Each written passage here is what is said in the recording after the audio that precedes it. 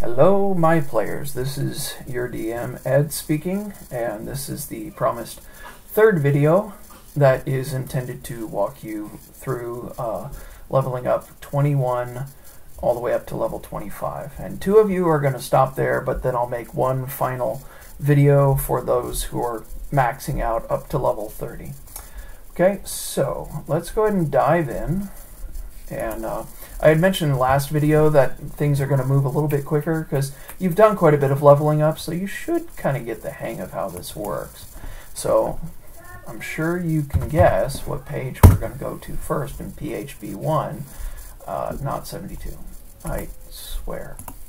Every time I type in 72, the first time it goes, to, uh, uh, every time I type in 29, the first time it goes to 72. Don't get it. Anyway, page 29 is this chart, this level up chart. And as before, this is going to be our guide. Okay?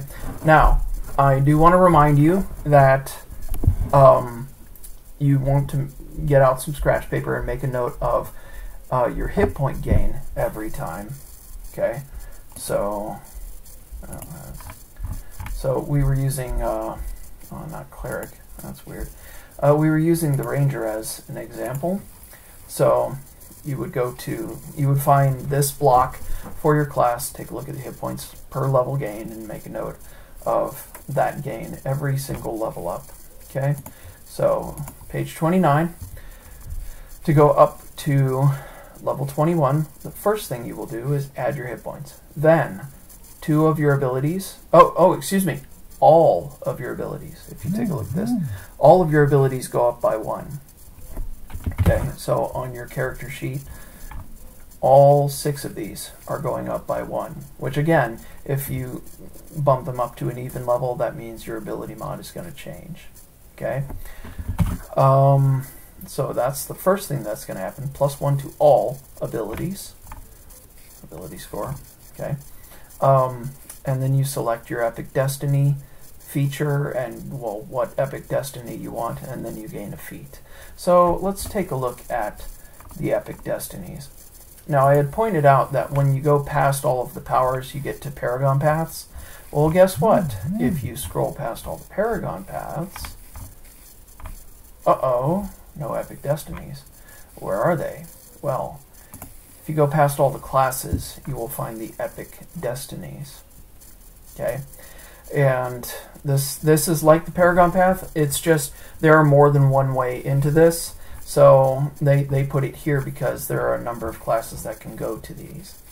Okay, and I encourage you to read up on this because it definitely gives you some ideas about where your character would go as they level up. Okay.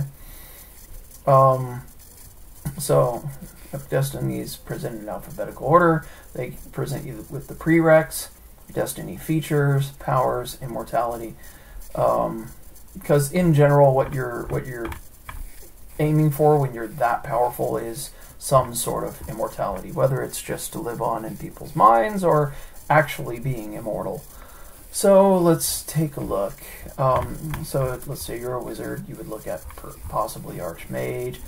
You see how like there are prereqs that aren't necessarily for any one class, they they just they kind of lean toward a class, but there are a number of classes that would fit this deadly trickster, for example. Okay, so this is really just a choice you make, and it's going to have to do with um, it's going to have to do with what kind of role playing you want to do with this character. Where, where do you see its story, the the character's story going? Okay. So just for Jeeps and Grins, let's go ahead and use Demigod as an example. Okay, so the prereq is just level 21. So on your class path destiny features, you would write your choice, which in this case we're going to use Demigod as an example. Okay, and here's some little flavor text to give you an idea of what it's like. Okay, and Da, da, da, Here's a little story idea, and then here, hmm, at least one demigod chosen path to ascension outlined below. So here is where it kind of outlines some things. So just like with the Paragon Path, the demigod features unlock as you level up. So 21st level, you get Divine Spark, and that increases two ability scores of your choice by two. Okay, and I, I would put Divine Spark in here. Alright, and then you would. Oh, wait, you want to that right away. So, yeah, you get the feature at 21st level, and you select a feat. By the way, feats are in Chapter 6 again, and just like there were Paragon tier feats, there are also Epic tier feats. Of course, the prereqs are a bit, bit uh, harsher, but yeah, the, these are much more powerful. So definitely want to check those out. Okay? So, let's go back to page 29. So, you bump all of your ability scores up by one. You add your hit points. You select your Epic Destiny and its first feature, and you select a feat for level 21. Level 22, you leveled up, so add your hit points, okay? And then you select the utility power and a feat. Notice how often we're gaining feats. Isn't that crazy? Um, so let's see here. So you're going to go back to your class this time. Alright. Um, character, classes, ranger. Ranger. There we go. Um, so yeah, level 22, utility exploits. Yep, keeps going. So you're going to select one of these, and on your character sheet, that goes right here.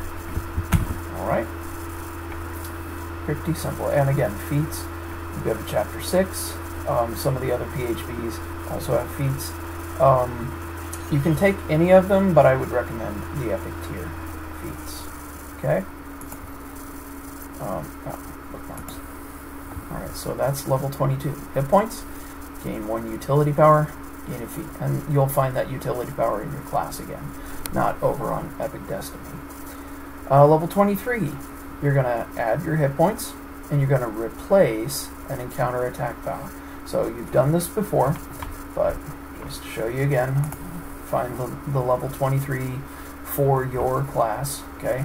And you're going to select from this, and you're going to erase one of these and replace it with the more powerful encounter here. Okay? And so yeah, hit points, uh, hit points, and replace an encounter attack power. Level 24, we're back to, instead of increasing all of our ability scores, uh, we're, we're back to increasing just two of them by one. So add your hit points, and increase two of your ability scores. That's these, okay? And then you select, uh, you get an additional Epic Destiny feature and a feat. So let's go back to that there Epic Destiny. We were using Demigod as an example, okay? So here's Demigod, and um, when we first picked up the Demigod Epic Destiny, we got Divine Spark, right?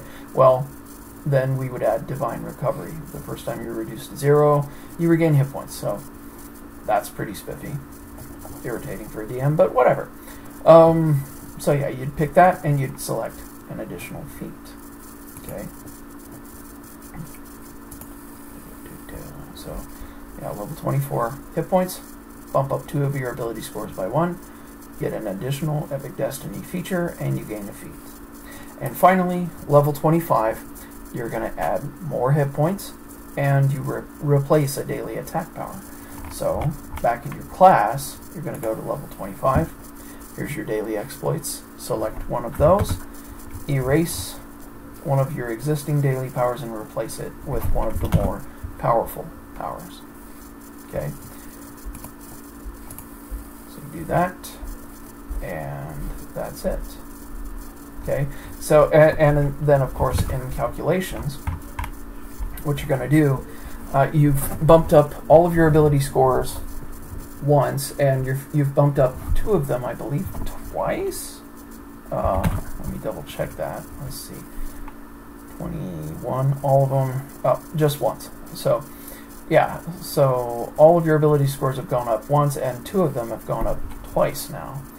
Alright, so you'll want to factor that in, figure out your new ability modifiers, which again, you take the score, subtract 10, divide by 2, and that's your mod. Uh, also, you're level 25, so your half levels are going to, are you round down, so those are going to be at 12 now. Okay, and that affects your defenses anywhere that you see this plus half level is going to change on your attack and everything. Your skills primarily use this ability mod plus half level score right here. Okay, and so I leave you guys to make uh, do that work. If you have any questions about the Epic Destinies, uh, you wonder if it applies, things like that, just shoot me a message. I'd be happy to field those. I, I want everybody to be as prepared as they can be for our very last session. And that's that's about it. I'm working on building encounters and stuff right now. So I will speak to you all later.